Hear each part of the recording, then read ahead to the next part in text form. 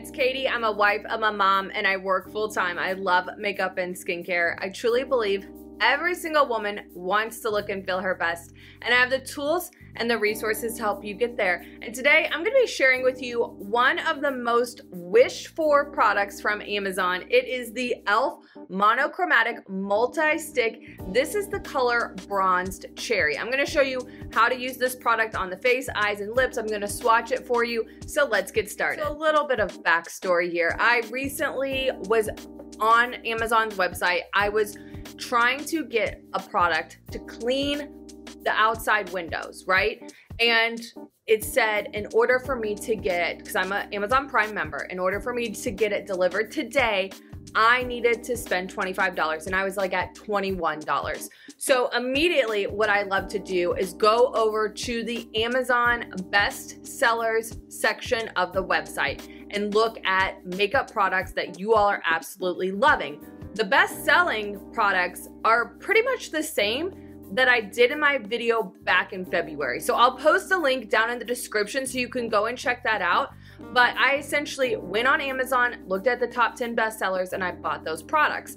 So since I had those, I was like, let's look at what the most wished for products are. And one of them was this multi-stick. Now, I've done a couple of videos, including the best-selling Dazzling Peony product. I did a video on that recently and showed you how to use it. So this is gonna be a very similar concept with the Bronze Cherry. Now with these products, they're multi-use. You can wear them on the face, on the eyes, and the lips. It is a cream to powder finish and the packaging is so tiny and cute, right? So these are great to travel with. And if you are somebody that likes to keep it simple, sister, then this is a great way to do that, all right? So let's get into how to use this product. So I've already done my face makeup. I have my eye primer on today. I'm using my Younique Moodstruck Eye Primer. This is really great at helping pigments pop, prevent them from creasing, and help hold them in place all day long. I'm gonna open this up and we're gonna just get into this, you all. So you can see this gorgeous color. Open up the packaging there. Okay, so I'm gonna take this on the lips first. It's a, a little bit on the dark side, but it's really, really pretty. Like, look at that, gorgeous. Love it. All right, now what I'm gonna do for the face is I'm gonna just take a little bit on the cheeks tap, tap, tap, just like that. Then I'm gonna take my brush and I'm gonna blend it up and away. You don't wanna drag the face down, you wanna lift everything up. All right, if you feel like you need a little bit more product, you could always go in and tap a little bit more, but especially when you're trying out a product for the first time, I like to just go in with a little bit of product and then build more if I want more. All right, so let me go in now here on the other side.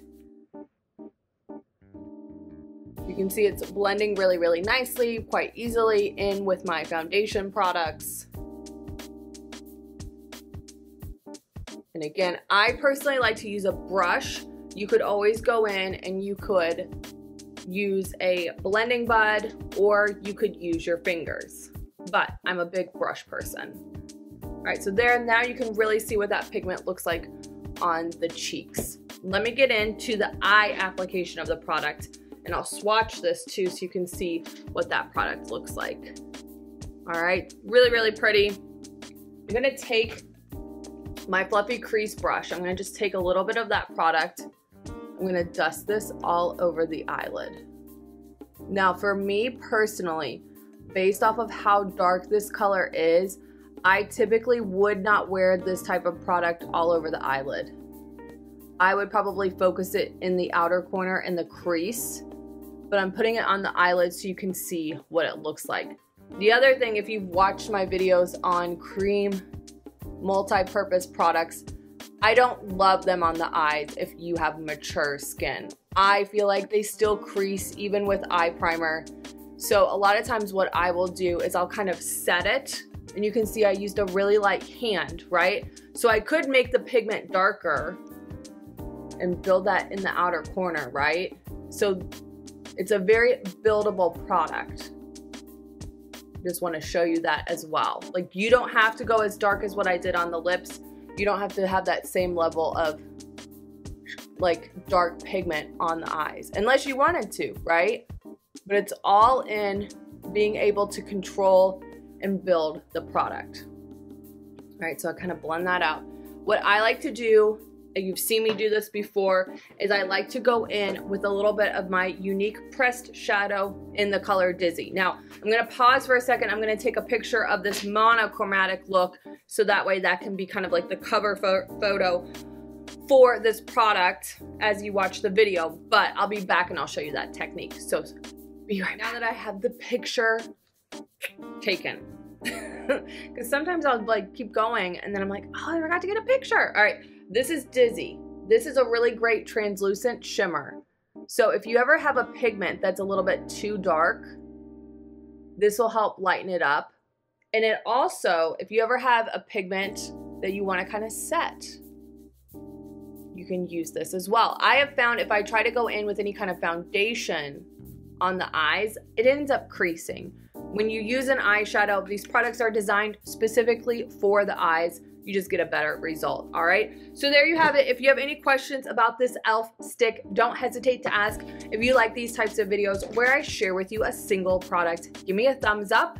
Let me know that in the comments below. Be sure to subscribe to my channel, ring the bell, so that way anytime I go live or I post a new video, you're notified. Have a great day.